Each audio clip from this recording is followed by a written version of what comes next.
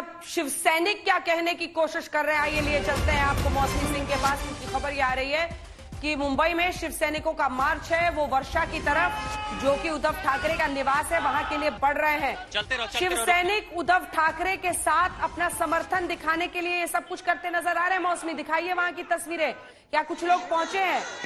कुछ कुछ जगहों पर आगे बढ़ते हुए शिव सैनिक दिख रहे हैं। पुलिस भी उनके साथ है। मौसमी।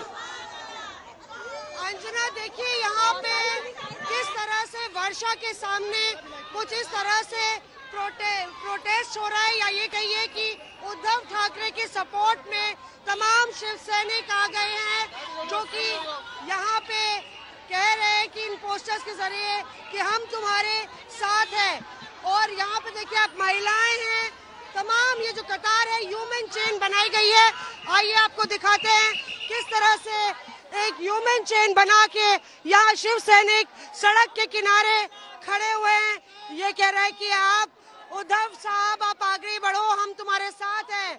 ये ठीक प्रेस वार्ता के दो घंटे बाद जो भावनात्मक अपील उद्धव ठाकरे ने की, उसके बाद आप देखिए कि इस तरह की ह्यूमन चेन यहाँ पे बनी हुई है और बकायदा पोस्टर के साथ उद्धव ठाकरे के भी है, आदित्य ठाकरे के भी पोस्टर है। यहाँ शिव सैनिक उनके सपोर्ट में नज़र आ रहे हैं। तो पूरा जो सियासत है शिवसेना की जो भीतर की सियासत है, वो अपने चरम पर यहाँ नज़र आ रही है। संजय, दिखाइए वहाँ तक, आपको दूर दूर तक शिवसेना के झंडे नज़र आ जाएँगे।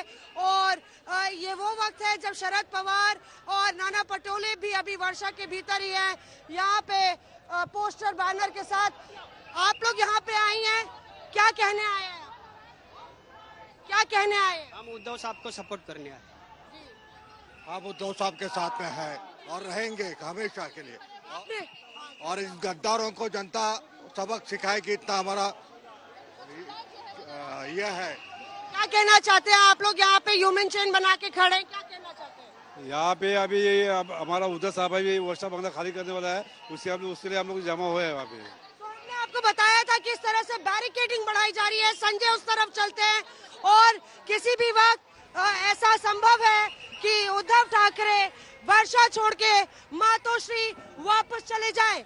इसलिए आज तक आपको दिखा रहा है किस तरह से यहाँ पे पूरी ह्यूमन चेन बनी हुई है और लगातार बैरिकेडिंग बढ़ी हुई है। ये आप देखिए कि यहाँ पे दर्जनों की संख्या में जो शिव सैनिक है वो यहाँ सड़क पर बाहर आ गए हैं। उनको अ, उन, उनको उनको उनसे मिलने उनको देखने के लिए जब उन्होंने कहा है कि अगर शिव सेना के नेता चाहते हैं कि मैं मुख्यमंत्री ना रहूँ तो वो खुद आके मुझसे कह दे, मैं तुरंत पद छोड़ दूँगा। मैं कभी सीएम नहीं बनना चाहता था। तो एक इमोटिव अपील और उसका असर ये कि सड़क पर शिव सैनिक है। अंजना।